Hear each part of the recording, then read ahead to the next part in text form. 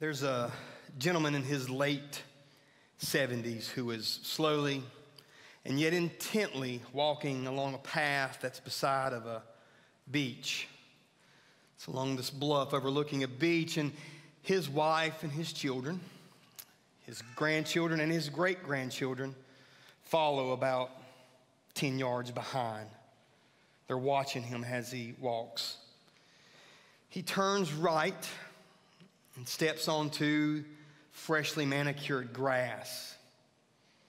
And as he walks along this grass, he begins to make his way through thousands of perfectly aligned white crosses that are all over this cemetery. As he walks, he begins to be overwhelmed with the emotions. And he falls in the middle of it and he just kneels there. And as he kneels, his family comes around him. And the camera pans in as the director has it planned in the movie. If you've never seen the movie Saving Private Ryan, I just described for you the opening scene of the movie. What happens then is the director is going to take us to a flashback of a scene that happened at Normandy. This is where the opening scene was filmed at the Normandy American Cemetery and Memorial in France, just outside of Omaha Beach, where D Day occurred. The movie's all about this platoon of men and their beloved Captain Miller, who traipses around all over France trying to find one single soldier, a needle in a stack of needles, they say. One guy named Private Ryan. The War Department had figured since he had four of his brothers who had died that it wouldn't be good for his mother to receive a fifth flag, so that's what they're there to do, is to go find him and get him out of there. If you watch the movie, it's an awesome story of brotherhood. At the end of the movie, though, there's only one member of the platoon that's alive. They've all died trying to find Private Ryan. And the movie ends with the beloved Captain Miller dying on the bridge. Private Ryan walks over to him, and with his last breath, he pulls Private Ryan in and he whispers these words in his ear Earn it, James. Earn this. The movie then flashes back to that scene in the graveyard of the older Private Ryan, now aged, in front of the grave of Captain Miller, in which he says this Every day I think about what you said to me on the bridge. I've tried to live the best life that I could, and I hope that it's enough. At least in your eyes, I hope that I have earned it. He stands and looks at his wife and he says, Tell me that I've been a good man. Tell me that I've lived a good life. And she says, You have. Hey, turn with me, if you have your Bibles with you, to Ephesians chapter 5. Ephesians chapter 5. If you've been going through the Bible with us here at Hope Community Church this past year in 2020, we've been walking through the Bible from Genesis all the way through. During this year, I just want to let you guys know we have baptized 26 people so far. So far. In 2020, that's many of you that are in here. And here's the thing that's so exciting and that's awesome, but there's still work to be done. You see, Jesus tells us in the Great Commission that we're to go make disciples and baptize them, but we have to teach them to obey all things whatsoever he has commanded, right? So there's still a lot of work to do. And look, here at Hope Community Church, our mission, our mission statement is why we exist, why we began, why we're going to continue to go into the future for the glory of God. We exist to help people who are far from God find hope in God through his son, Jesus Christ, right? That's why we're here. We do that by giving hope creating community, and through being to the church. So today, that's what I want to focus on is that last part, is being the church. What does it mean to be the look? Every, whenever we say let's be the church, we think of rightfully so, hands-on, tangible ways in which we can be the church. Correct? Um, we do things like Adopt the Block. We do things like Jobs for Life. We do things like One Day with God, where we go into prisons with the families and the children of their of, of inmates and help them. We do things like um, our um, labor of love every year. We do a lot of hands on where we are the hands and feet of Jesus, right, in being the church. But today, here's what I want to talk about is something that as we read through the epistles, which is where we are, those letters that these guys wrote to the early and new believers in the churches all over, they wrote to them, and there's a main focus that you see that you become aware of as you read. They want those new believers to live the new life that they have in Christ. We got to live it. See, we can be the church by living in this new life that Christ has for us. So if you have your Bibles, Ephesians chapter 5, we're going to be in verses 31 through 32. And if you're physically able to stand for the reading of the word, I'm going to ask that you would please stand with me. Ephesians 5, 31, 32. For this reason, a man shall leave his father and mother and cleave or be joined to his wife, and the two will become one flesh. This mystery is profound. But I am talking about Christ and the church. Let's pray together. Father God, I pray that you would help us, empower us, God, through your Spirit to leave, cleave, and become one. That as we walk through this life, ever how long that might be for any of us in here, that Lord, this would be our formula. This would be what we are doing in our lives, that we are leaving, we are cleaving, and we are becoming one. Make your name famous in and through us in Christ's name.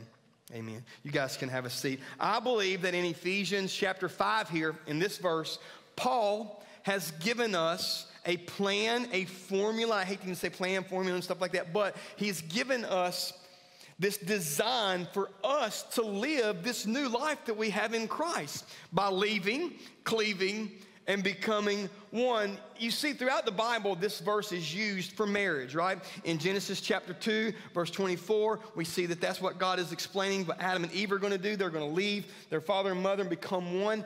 We also see that Jesus references this passage when he teaches about marriage. Paul references it here when he's sort of talking about marriage, but he's really talking about the church, right? When you look at the New Testament teaching, you'll find this, and actually throughout the Bible, that God refers to his relationship with his people, and especially New Testament church, as his bride. We are the bride of Christ. We see in Second Corinthians that the church is a bride that Jesus is perfecting so that he can present to himself this white, wonderful bride. We also see in Revelation that we, as believers and the uh, uh, uh, people of God, as the church, we are awaiting this awesome marriage supper of the Lamb that we're going to attend someday with him. But what we see is that marriage, or this leave, cleave, and become one, is not only a prescription for just marriage here between a husband and wife, but it's also between us and God, us and Jesus. Now, I've been in ministry for around 20 years. I have always used leave, cleave, and become one in my premarital counseling, my crisis marriage counseling, and my enrichment counseling for marriage. Nothing else. I always use leave, cleave, and become one because there's a lot that goes along with it. But today, what I want us to focus on again is our relationship with Jesus as his bride and how leave cleave and become one can apply to us, right? Hey, the first thing that we need to do is leave. Again, we need to be, when we read through the epistles, you'll become keenly aware that the writers are urging new believers and us, even warning us and encouraging us that we need to leave our past life and enter into a new life that we have in Christ. It's not some future life that we're going to experience when we all get to heaven. We're going to get to experience a new life with the resurrected power of Jesus now in our lives. Let's look at a few scriptures together and see from four different epistles just to show you as you read through these you're going to see this. It's there. 2 corinthians 5.17 therefore if anyone and they're popular verses you'll know them therefore if anyone is in christ he has he is a say it new creation. The old has passed away. Behold the new has come. Romans 6 4 says, We were buried, therefore, with him by baptism into death, in order that, just as Christ was raised from the dead by the glory of the Father, we too might walk in newness of life. Every time I baptize somebody, I always have over the years, every time they get out, I'll whisper in their ear, walk in this new life and hug their neck, right? Well, what do I mean by that? Just wait till you die? No. Walk in this new, awesome life that God gives you now. Another uh, text here is Colossians 3 9 through 10. Do not lie to one another, seeing that you have put off the with its practices and have put on the You guys are so great. You're just doing this. First service just didn't. I was like, it's on the screen for crying out Read it. Anyway, which is being renewed in the knowledge after the image of its creator. Ephesians 4, which is from the epistle we read uh, this morning. Put on the Yay! Which is the likeness of God has been created in the righteousness and holiness of truth. Look, Jesus puts it this way about this new life. Jesus puts it this way Luke 16, 24. If anyone would come after me, let him deny himself and take up his cross and follow me. Listen, leaving our old life, getting married to Jesus means that we need to leave. There's some change that's going to occur, right? When you get married, change is going to occur. The primary and most fundamental change that happens when we're married is that we're supposed to leave our life of selfishness, leave our life of it's all about me, and we enter into a marriage relationship where it's about somebody else too, right? And that's what happens when we marry into Christ and when we become His. What will help us leave, though? What is it that's going to help us leave that old way of life, leave that old self centeredness where I'm all about me, and enter into this relationship with Jesus? What is it that would help us leave that life? What is it that's, look, and let me tell you something. It's not easy to leave our old life behind. Amen? Am I the only one? It's hard. It is difficult to leave that old way of life. Have you ever heard of this a psychology, uh, or psychology um, term called the Stockholm syndrome? It's a syndrome where, look, people that have been captured or they've been um, held hostage, uh-huh, that's been hostage or have been held hostage, they get this relationship that they build between them and their captors. And they actually start to feel sorry for those captors or even love those captors. They won't testify against them. But it, it, have you ever seen the movie Shawshank Redemption? Raise your hand. Shawshank Redemption. I have to step back here, the lights are out my face. Okay, some of you guys need to go rent Shawshank Redemption today. It's an awesome movie. That and Private Ryan, it's great. But there's a scene in that movie, Shawshank Redemption is about being in prison. There's a guy named Brooks that had been in prison for like 60 years. He finally gets his pardon and he, and he moves out of the institution. Well, when he's out of the institution, he writes letters back to his buddies that are in prison and says, All I try to do is figure out ways I can get back in there with y'all. You know? And he said, he said I think I'm going to kill my boss just so I can come back in there and spend the rest of my life with you. But isn't that weird how someone who had been in prison for 60 years would not be so gloriously you know, ex- I mean, excited about being free that they want to go back in? But we do that too, don't we? It's hard to live our old ways of life. It's hard to leave that old self centeredness that that's all we're after is us. It's hard to leave those things that we have found pleasure in and those things that has, we have used and Satan has put in our path to comfort us. It's difficult to do. So, how are we going to leave this old way of life? I'm going to tell you why. Here you go. We leave because of who loved us. That's it, and that's all. If we could get this, we could all just leave and save yourselves like an hour. Yeah, I used to teach, leave cleave and become one. It was a six hour session generally, so we're going to be here for a little while. You're going to miss the Panthers game, just shout whenever they score, if not. But you're going to leave because of who loved you. Let me explain this we will willfully and joyfully leave our old ways of life of death and slavery and those sinful desires when we see truly the beauty and glory and majesty of God in His Son Jesus Christ in the gospel. Pastor J.D. Greear of Summit Church in Raleigh says it this way. I love this. The, the gospel is not just the diving board of which we jump into the pool of Christianity, it is the pool itself. It's not the only way we begin in Christ, it is the way we grow in Christ. Tim Keller puts it this way the gospel is not just the ABCs of Christianity, but it is the A to Z of the Christian life that flows from the good news of what Jesus has done for us. And guys, when you read the epistles, when you begin to read these letters into, to these early believers and to the church, you're going to find that these readers spend the first portions of all of their letters presenting the gospel to the church. They, in Romans, when Paul writes Romans, the first five chapters, he's writing it to believers, to people who are supposed to already love Jesus. He writes them five chapters of just gospel. This is what you were. Here's what you are now. This is where you were going. Here's where you're going now. Here's where you were in your sin. Now you're, it's, it's just this five chapters of it. Ephesians, in the book that we just read out of, is four chapters of nothing but gospel. It is nothing but gospel. Here's where you used to be. Here's where you are now. Here's where you used to be seated and buried. Here's where you are seated now. You used to try to work your way into heaven. Now it's by the grace of God that you have been saved. Praise God, right? None of you can boast. And then he leads into, but look, that means our lives have to change. We see in here that these guys are reminding them, and that's what I want to do with this, is remind you if you want to see real lasting change in our lives, we have to see it through the gospel. The gospel has to become bigger and richer and fuller in our hearts, and it'll change us. First John puts it this way. The writer John, who's the one whom Jesus loved, wrote this. He says, We love him, say it, because he first loved us. You get that we get this in our hearts. He first loved me. Me. Me. The chief among you of sinners. Promise you in this room.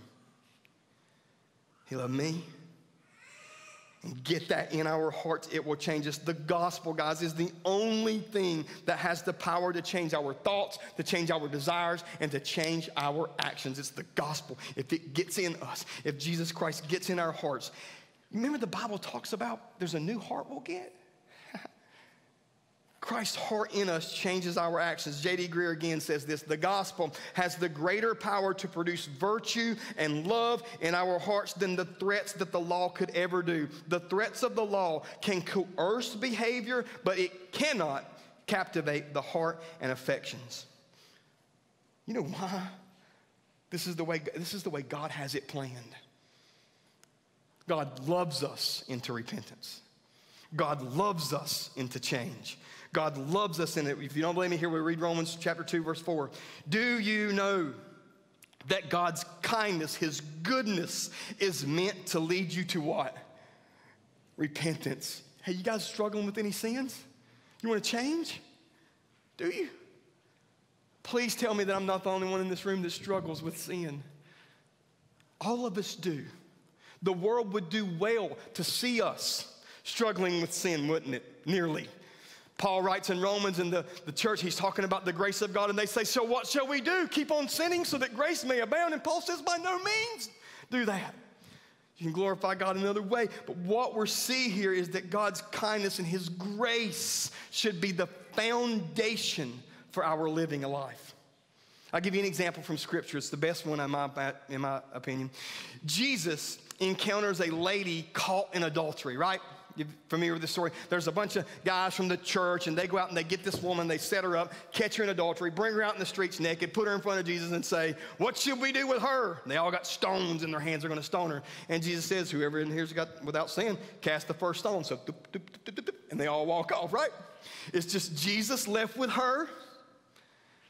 And he looks at her and he says, This, neither do I condemn you. Now, hold on, he's not done. Neither do I condemn you. Now, go and sin no more. You know what we do? We reverse this, don't we? Every religion, by the way, every religion on the planet reverses it.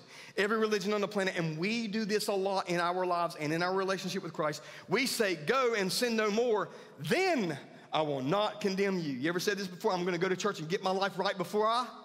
No, no, no, no. That's not what Jesus says to do. What we do is we come to Him, and the grace that we experienced in His look his look into our eyes and says, Neither do I condemn you. Now use this as a basis, a foundation of grace to go live a life that's worthy and glorifies it, right?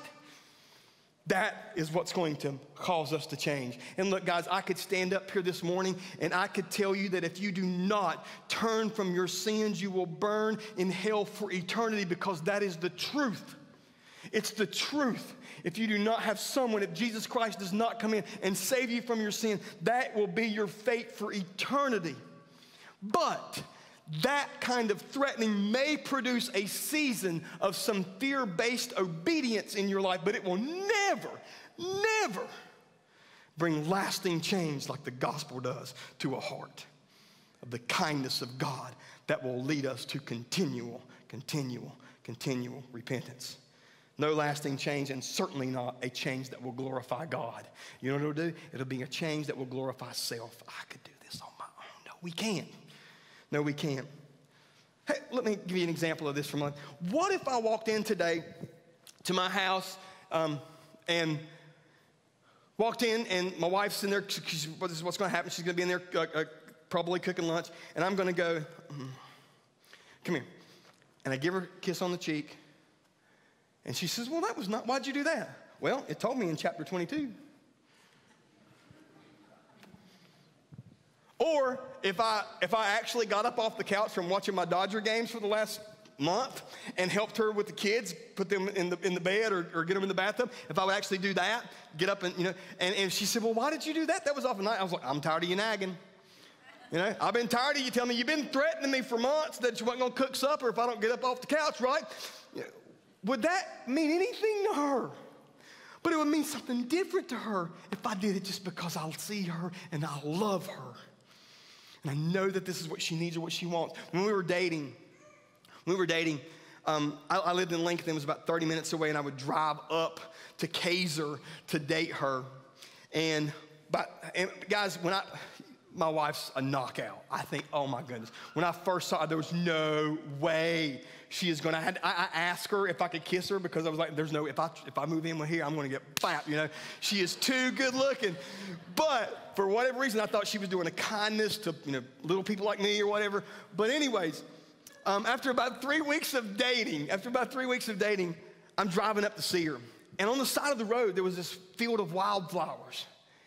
And I just pull over and I get out, hot as it could be, but I'm, and I grab all these wildflowers and pick them up and put them in, this, you know, in my hand. And I go to her house and I open the door and I give them to her. And she goes, Oh my gosh, oh my goodness.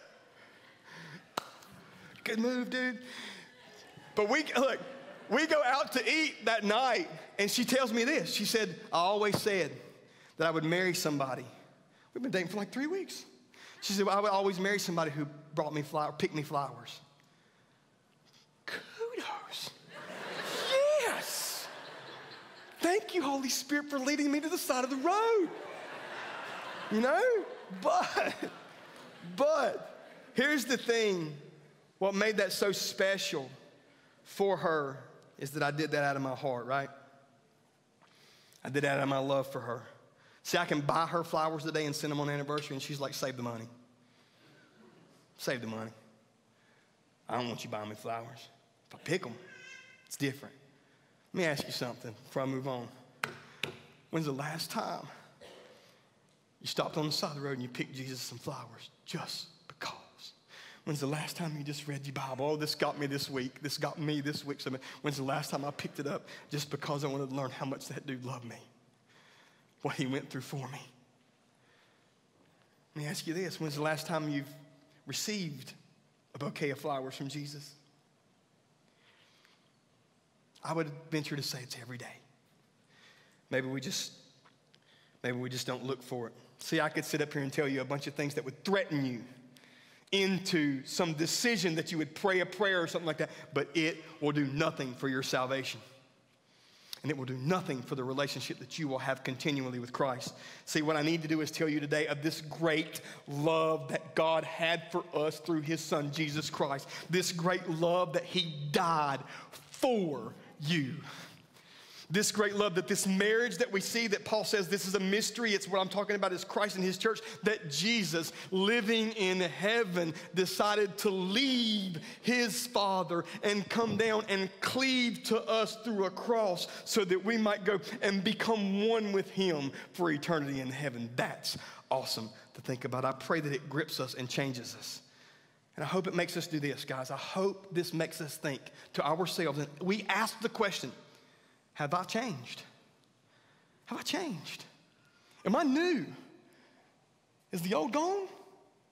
Is there any changes going on in my heart? I hope that we look at our lives and say, is the gospel producing fruit in me?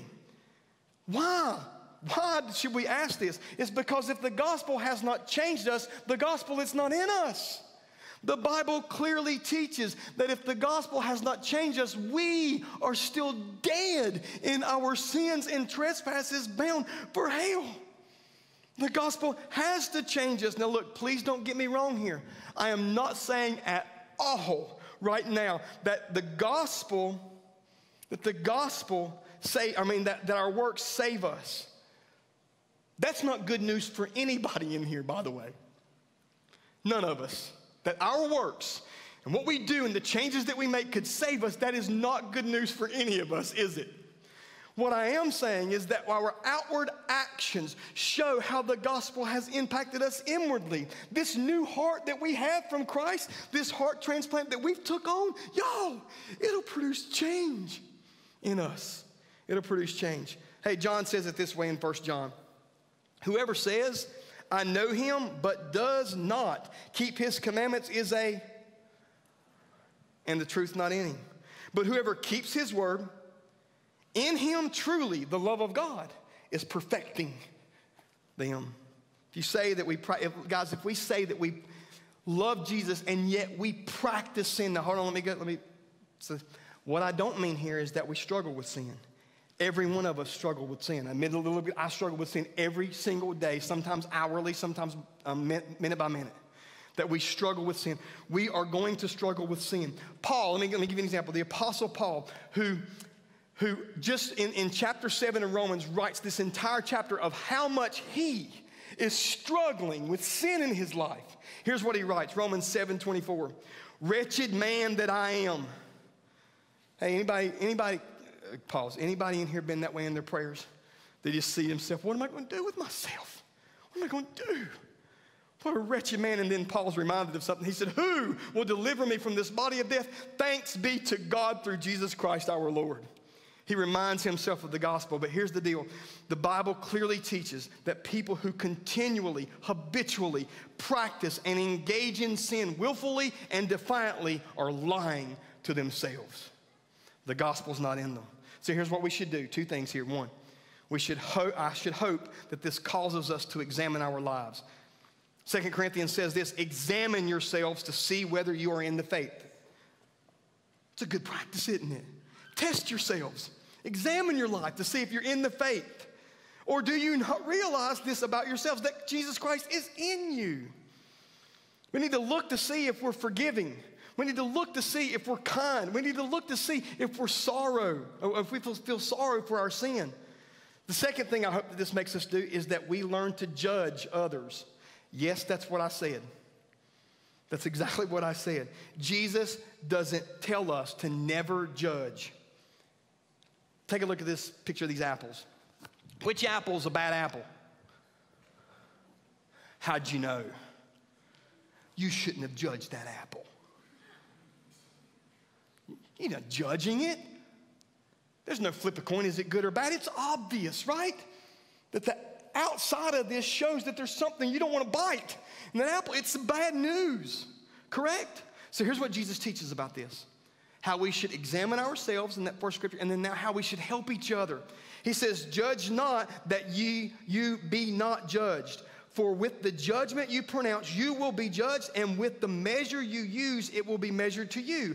Why do you see the speck that is in your brother's eye, but do not notice the log that is in your own eye? Or how can you say to your brother, Let me take that speck out of your eye, when there is a log in your own eye?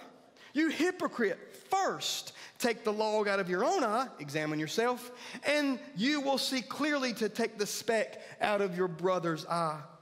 What we ha- here's the reason why we don't do this and we don't help each other and we don't help each other examine ourselves and look at our lives for the sake of salvation and for the sake of our great relationship with Jesus is we've got this wrong in the church. How many of you guys have ever been approached with someone with a holier than thou attitude? Can I say that holier than thou? You know what I'm talking about? That holier, I'm, I'm holier than you. And we approach this with this attitude and this tone that why can't you be more like me? Can't you be more like us Christian people? And we're all, right? Or we approach this with this gotcha mentality. I caught you, I caught you in it. All of this, guys, this type of attitude that is clearly judgmental condemnation of another, a dismissal of them because of love, which is not what Christ said do. All of this is rooted in a lack of love. You see, we're supposed to speak the truth to one another, aren't we? But we're supposed to do it in love. Galatians 6 says this Brothers and sisters, if someone is caught in a sin, you who live by the Spirit should restore that person gently. The language here, caught, is like a wild animal caught in a snare. How many of you guys, please, how many have ever seen a brother or sister or someone you love just caught in it? They're caught in sin. It just, it's got them. Whatever it is, you name it, whether it's gossip or whether it's lying or whether it's sports or whether it's pursuit of, of, of job or life or career or it's drugs or alcohol, they're just snared in it. We need to go to them and not say, hey, I'm not judging you, bro, or anything like that. Hope everything's good. We go to them and say, look, I see that you're caught in this sin. How might I help? What we need in this world, guys, and especially from us as believers, is we need more coaches in this world than we do referees. Here's what I mean by that we need less people that blow the whistle at sin, right? That's what that is, right? And just help with it. We need people to see that we are fighting for them, not fighting them. Someone that would say, hey, bro, I've noticed this in your life lately, man, and I just want to let you know how much Christ loves you. And have you consider, man, that this might be a, something wrong with your relationship with Jesus? Maybe you need to go to him so you guys can spend some time together so that Jesus can cleave. Last two points. Now, once we leave that way of life, we're to cleave to Jesus. Here's how we do this. Here's how we cleave. We cleave because he holds us together. I am a Los Angeles Dodger fan. I've been a Los Angeles Dodger fan before birth. Yeah, um, when I came out, my dad had like a hat and put it on me, whatever. But I've been a Dodger fan, and for the last eight years, we've been a really good team. But for the past six, we have been a phenomenal team, the best team in the league. I'll say it that way. Since 2016, we acquired a guy named Justin Turner. And Justin Turner turned the team around to make us a great team. Last five years, we won four um, division titles. We won three National League championships. We're in the World Series for the third time. Please pray we win. I was up till 12:30 last night. I don't know where I'm getting the energy to preach the sermon right now, but we lost with one strike to go. My son can't handle it. If we lose, my son cannot handle it. We will have to pay for counseling and all sorts of stuff. Pray that we win this series. But we became a great team, and the manager, Dave Roberts, he's been interviewed several times in the last five years, and he always says, Justin Turner is the glue that sticks this team together. Justin Turner is the glue that keeps the clubhouse together. Justin Turner is the glue that causes us to win. Guys, we all need a Justin Turner in our life. We need someone to hold us together. And Jesus is what holds us together. He cleaves to us. Colossians 1:17 says this, and he is before Jesus is before all things, and in him all things hold together. You see, Jesus is the gospel. You want to get, hey, guys, I don't know about you, but I have many days where my life seems like it is falling completely apart. Amen?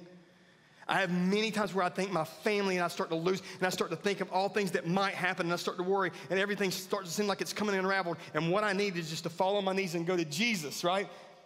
Because He's the glue that's going to hold me together. Jesus, what happens when we talk about cleaving here is Jesus moves in to live with you. Did you know that? Christ moves in. This is marriage. You're going to leave cleave. He's going to move in with you and he's going to come and live with you. Read this here John 14, 23. If anyone loves me, he will keep my word, and my Father will love him, and we, we will come to him and make our home with him. Did you hear that? Does that not sound awesome? This is a promise from God that God will come to live with us in our home. That means we got some closet cleaning to do, right? I'm stuffing stuff in, right? Trying to keep it away. And he opens the door and says, What about this? We try to look, this is what it means to live with it. Galatians 2 says this I am crucified with Christ. You've heard this before. That's the lead part. And it is no longer I who live, but it is Christ who lives where? In me. Look, cleaving is when we live with Jesus. And when you live with someone, you share life with them. You pay bills together. You want a recipe for disaster in your marriages? Have separate accounts. I've been doing counseling for 20 years on crisis counseling. It is a disaster. You share the load. You share with one another. You share life together. You do things together. You talk with each other. You argue with one another. You do activities together. You face tragedies and triumphs together. And that's when Christ cleaves. I asked my staff this week and some other guys I know have been married for a long time. I said, hey, tell me something. Tell me what's God used in your life to get you and your wife to cleave, to come and become one together? What's He used in your life? And every single one of them, bar none, told me struggles. Struggles. Can you, uh, me, my wife and I, when we first got married, I had a job making $14 an hour. She didn't have a job. She had just lost her job. I'm working, trying to pay bills, trying to do everything. Ramen and Totino's pizzas every Friday and Saturday night. Our going out was going to Dollar General. That's going out. But we loved it. I would, go, I tell her all the time, I would go back there in a skinny minute, wouldn't you? And she goes, no. Maybe I'm a little more nostalgic about it, but we, those times of struggle, I can remember sharing those times where, you know, hey, how are we going to do that? Well, I've got to go get a job building the deck so that we can pay for that bill. And that's just struggling and praying together. I remember when I walked in one time, the phone rings. I'm sitting there eating my Totino's pizza. And my wife goes, Yes, okay, I'll tell him. Sit down, Jeremy. I said, What is it? It's mama, isn't it? And she said, Yeah, it's your mama. She's got cancer. Test came back today. And I grab a hold of her hands, and in that little bitty old kitchen up there in that little yellow house, and we began to pray, and then we began to sing How Great Thou Art together. Oh, precious times that we share. I remember when we, we were, um, uh, been married for five years and we were getting ready to have our first child. I mean, like hours before then. We're at the hospital and they tell us, y'all need to go walk around. So we're walking around the hospital just holding hands through these little, I don't even know that they had these hallways there at the hospital in Shelby, but we're walking around holding hands. And it was as if God was giving me and her, so our, us, the last minutes of when I called her Ashley instead of Mama. From there on out. We'll never forget them. We talk about them all the time, me and her. But let me ask you something. What about you and Jesus? Have you shared in the struggles? I was just talking with a family this week that they had lost their, their mother, their dear mother. And one of them looked over at me and said, You know what? This is bringing us so much closer to Jesus. You ever had tragedies like that in your life where you can just feel Him near? Where He's just there. That's what cleaving is, and that's what He wants us to do, is cleave to Him. Guys, this word cleave is a masonry term. It's a masonry term.